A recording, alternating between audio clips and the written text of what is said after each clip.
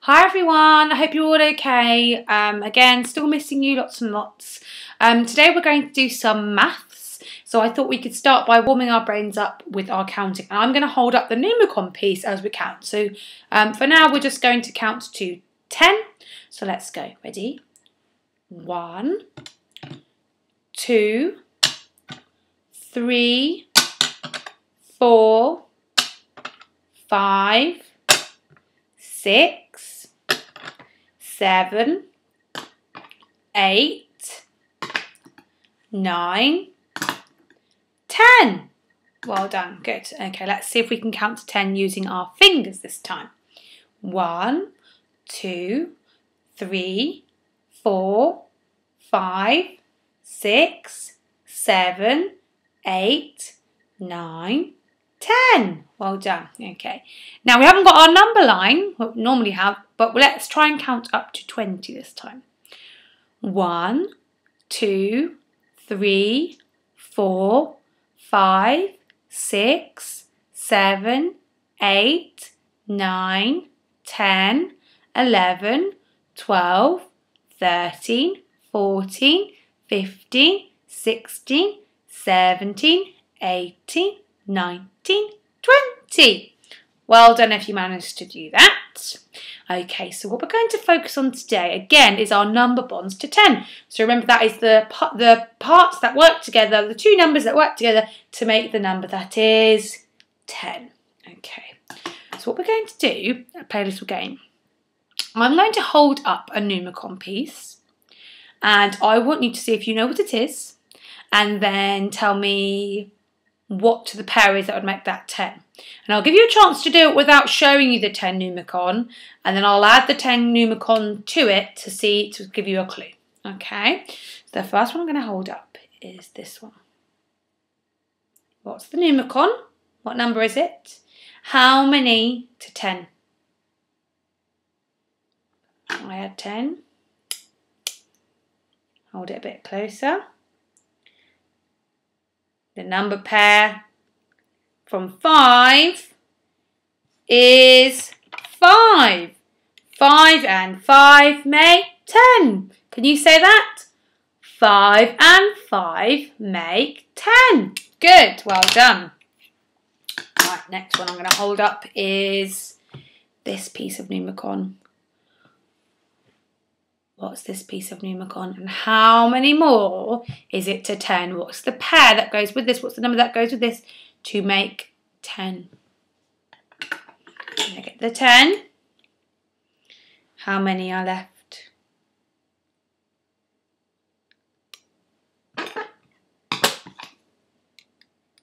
Oh, silly Miss Hockley. Seven, that's right. Three and seven make 10. 3 add 7 equals 10.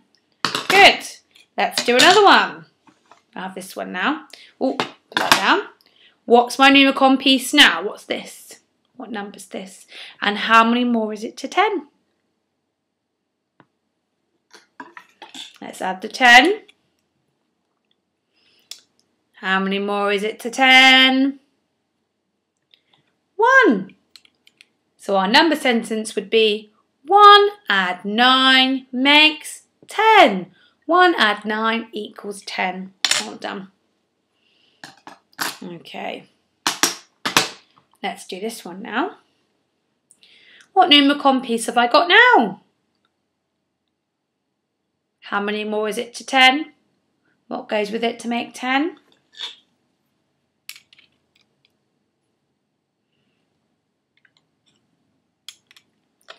So the green Numicon is 8, the, the uh, purple Numicon, the light blue I should say, Numicon is 2. 8 and 2 is 10. 8 add 2 equals 10. We'll do one more. What Numicon piece have I got now? What goes with it to make 10? I've got 4. How many more to 10? Well done if you said 6. 4 add 6 makes 10. 4 add 6 equals 10. Fantastic. Well done, everybody. Okay. So I've got a little project for you to do now, and it looks like this. Okay. So what you're going to do is you're going to first draw around your hands. If you've got some coloured paper, it's nice to do it with coloured paper, but don't worry if you haven't. You're going to draw around both of your hands. Why are we drawing around both of our hands? How many fingers have we got together? Ten. Yeah, that's right. So, you're going to draw around your hands and you're going to stick them on. But what you need is the fingers free. Okay, and we're going to use our fingers to work out your number pairs to 10, your number bonds to 10. Okay, so if I had one finger up, let's put all the others down. If I had one finger up, how many more fingers need to go up till I get to 10? One and nine equals 10. So I'd need to put nine fingers up. Okay, and the idea is that you can use these fingers to help you answer the number bond questions. So if I hold that like that, you can see that I have gaps. Okay, I've done I've done the first ones for you, but I've done two add something makes 10. Three add something makes 10. So maybe if mummies or daddies are helping you, they could maybe write these for you and then see if you can use the fingers to help you fill in the gaps. Okay, I'll just hold that up there. And mummies and daddies can pause it to help them if they need to. Okay, so that's going to be your project for you to do. To see if you can use your fingers to help you with your number bonds to 10. Your number pairs that make 10. Okay, you might know them already, but it's lots of fun to be able to use the fingers, and we use our fingers for lots of different things for math. So it's good, good practice to start using them, and this is just a different way of doing it. Okay, so I hope you get on with that okay. And if you've done any, feel free to show me. All right. Okay, see you soon. Bye.